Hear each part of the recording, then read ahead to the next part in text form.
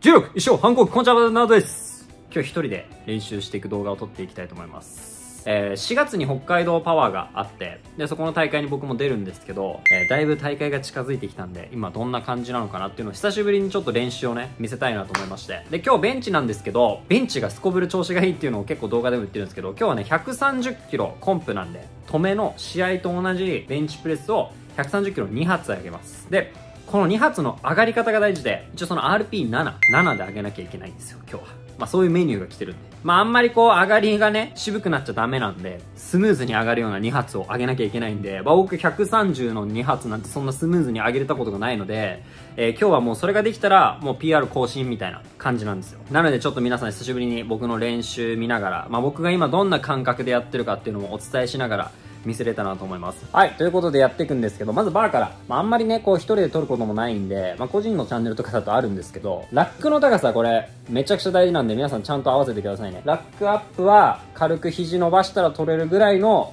高さでやってあげるといいと思います。まずこうバーからやるんですけどこれバーもねめちゃくちゃ大事なんですよ。バーの時点でやっぱりこのフォームの完成度をどんどんどんどん高めていかないといけないのでもちろん最初のウォーミングアップも大事なんですけどウォーミングアップをしっかりやってこのバーの段階でもいいフォームが組めるっていうことを意識したいですよね。まこれ軽いからってなんとなくパンパンパンパンってやるんじゃなくてここからしっかり背中足体幹全部使ってやるようなベンチを目指していきます。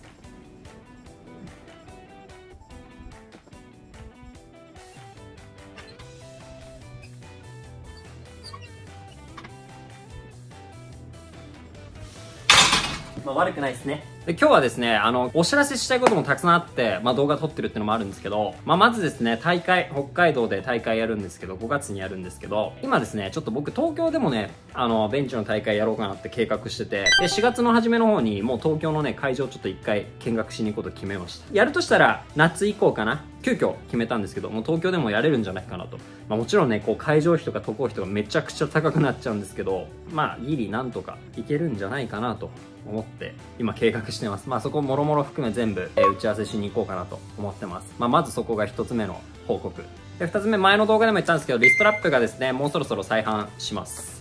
で、早ければ3月末ぐらい、まあ、この動画本当出てすぐぐらいの時に、公式 LINE の方で予約販売を開始しようと思ってます。公式 LINE 限定ですね。もしかしたら公式 LINE だけでもなくなってしまうかもしれないんで、LINE ぜひ登録してお待ちください。4月末ぐらいにね、新しい色でバーガンディ出すんで、えー、そっちの色が欲しいよって方は、まだこの色買わない方がいいと思うんで、我慢して、バーガンディ欲しい人はバーガンディ買ってください。ということで、まあ、60やっていこうかなと思います。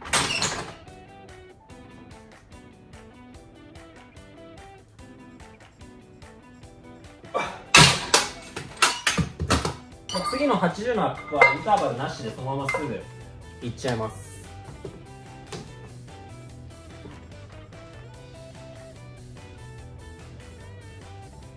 え次100キロですね。で、最近僕あの結構背中の使い方とかはすごい意識してることを伝えてると思うんで、まあちょっとそこはしょっちゃうんですけど、最近ね、これとプラスでもう一個意識してることがあって、アーチ作りやすくするために、僕最初にこう、結構上げるんですよ、手。これなんで手上げてるかっていうと、僕の感覚ですよ。僕の感覚ですけど、肩甲骨あるじゃないですか。まあ下げたりとか、寄せたり開いたりするわけですよね。で、この前と後ろもあるわけですよ。前がこれね。で、後ろがこうなんですけど、こうやってやってあげると肩甲骨がねこう倒れるんですよ。僕の感覚的に。一回倒れた状態から持ってきてフォーム組むみたいなイメージで組むとすごくアーチがね高くなりやすくて最近調子いいですね。ちょっとそこも含めて次100キロ見てください。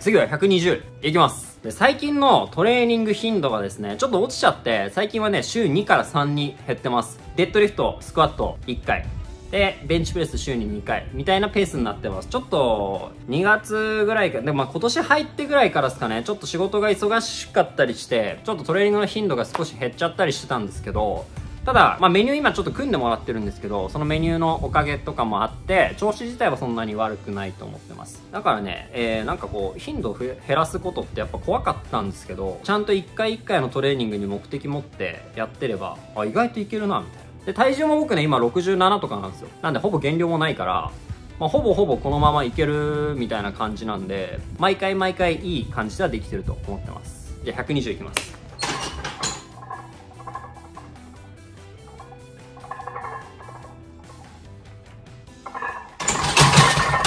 えー、120めちゃくちゃ軽かったんじゃないでしょうか。もう132いけるんじゃない ?RP7。まあ7ってさ、なんか見てる方々からしたらちょっと分かりづらいかもしれないですけど、粘ってね、2発目上げてなかったら OK かなぐらいの感じで見てくれたらいいかなと思います。この間、あの、東京からパーソナル受けに来てくれた方がいて、まあ、学生さんだったんですけど、どういう動画見たいですか？みたいな話した時に、こう減量しながらでもパワーを出すみたいのをどうしたらいいか？みたいのをなんかその部活の子たちでこう話してるみたいなの言ってて、確かに減量しながらパワーを残すってすごい難しいじゃないですか。僕の感覚的には、パワーリフティングで言うと、体重をそもそも僕はあんま増やしすぎないっていうところが結構大事なんじゃないかなと思ってます。リフターって結構やっぱ1ヶ月で落とすとかの人が多いじゃないですか。5月1日が試合で4月1日に減量開始しますみたいな。その時点で、じゃあ僕だったら66キロ級出るけど、体重が72キロありましたみたいなタイミングから6キロぐらい落とすってなると、やっぱね、水抜くとしても1ヶ月で6キロとかって僕は落としすぎだと思うんで、そうなるとね、絶対パワー落ちるんで、その練習出してたパフォーマンスやっぱできなくなっちゃうわけですよ。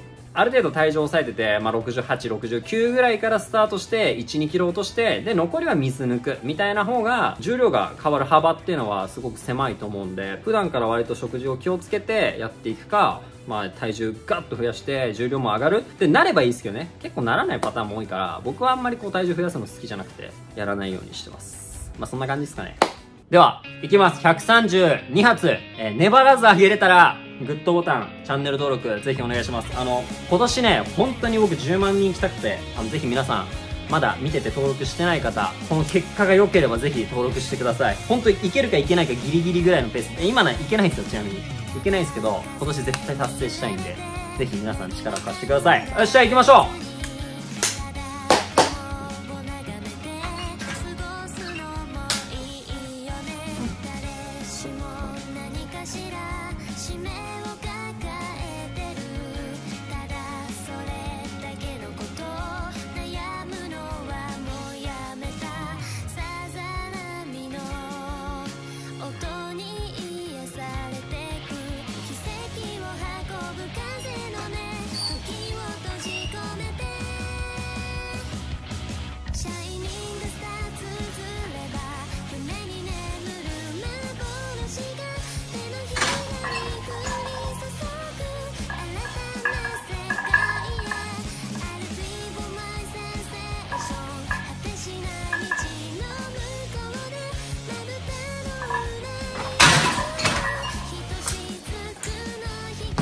絶妙です。